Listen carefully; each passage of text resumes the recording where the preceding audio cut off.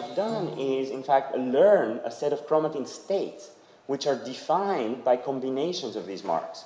And we can now start reasoning about promoter states, transcribed states, active intergenic states, repressed and repetitive states across the genome. That allows us to now summarize, for example, the combinatorics of 51 different tracks into just a single annotation for every region.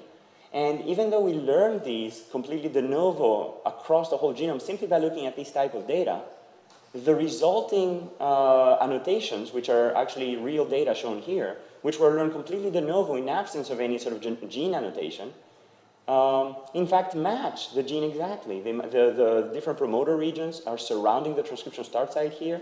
Uh, the different transcribed regions are in fact found along the body of the transcript, and then active intergenic regions are found flanking these active transcripts. And then further away from the gene, you have these repressed regions. And what's interesting is that even uh, with a naked eye, a human observer uh, has a hard time figuring out what's different between these regions and those regions. And yet, the tool that we have built is able to actually distinguish them as different chromatin states.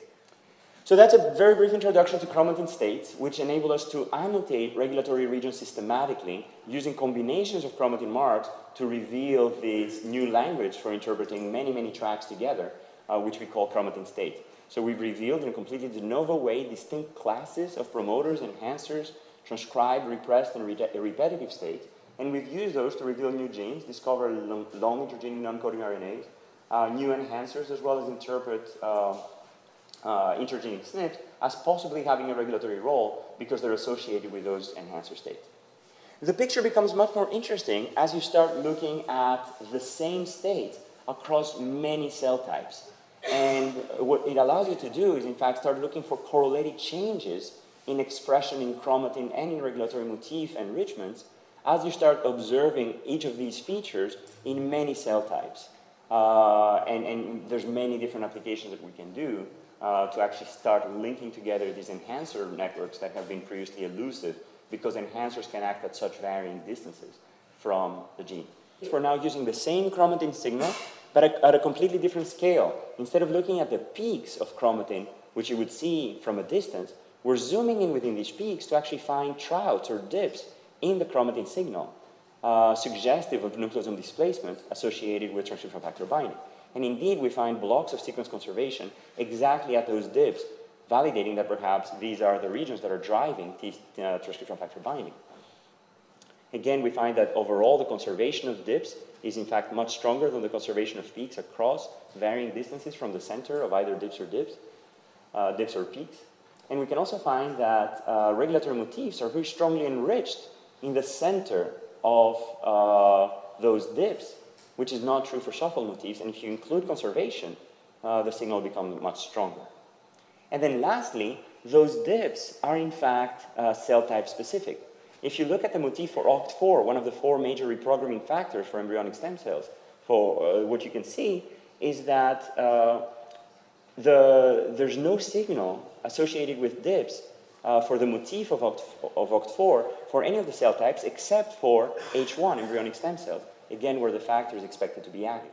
So just to summarize this entire portion, what we end up with is clusters of enhancer activity across the different cell types. So we now have 20-some uh, uh, clusters of enhancers that show the same activity pattern, namely they're inactive in that cell, those two cells, that cell only, and so on and so forth. But what about GWAS? So we've now built this arsenal of tools for interpreting genomes. We've built these chromatin states, which we can apply to discover patterns of uh, combinations of marks and interpret uh, these regulatory regions systematically.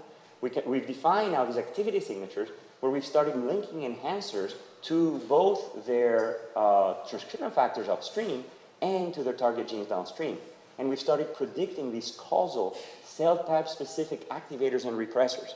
Can we use all that information to start interpreting SNPs that uh, emerge from these disease studies? The answer is yes. Uh, we've taken a number of studies uh, from recently published papers, and then we've asked if we, if we take all of the SNPs associated with that study. And we line them up one after the other. And uh, we look at now the chromatin state annotation of that region associated with the top SNP, predicted in each of the different cell types. what we're finding is that uh, for each of the studies, a single cell type emerges where all, or uh, a large number of the SNPs associated with that study are in fact found exactly in the region that we're predicting to be an enhancer, specifically in K562. So we've sequenced 29 mammals at the Broad Institute, uh, which we have used to now start increasing the resolution with which we can map constraint across mammalian species. In this particular case, uh, there's an intronic uh, region of a very well-studied gene, which is in fact associated with four little peaks of conservation. And when we look at uh, a binding study with ChIP-ChIP, we find that all of these regions are in fact occupied by the factor.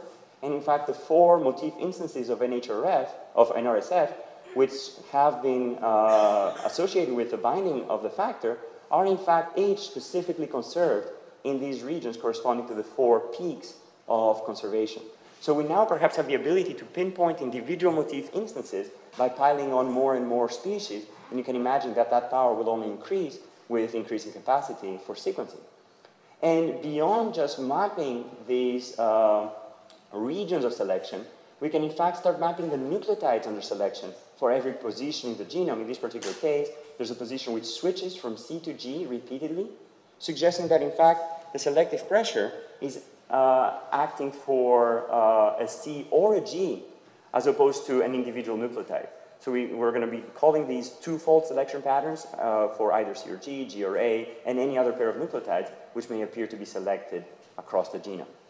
So how does this mutational constraint that we have measured across mammals relate now to the constraint within the human population? One could argue that perhaps the mutational uh, patterns have in fact changed and there's, uh, there's just different pressures driving human evolution.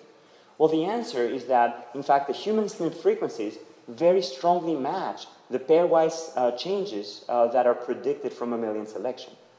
If you look at these uh, sort of 16 by 16 all pairwise combinations of SNPs, what you end up with is a diagonal where the SNP found in the human population in fact matches the, uh, the two-fold selective pressure found across, uh, across species.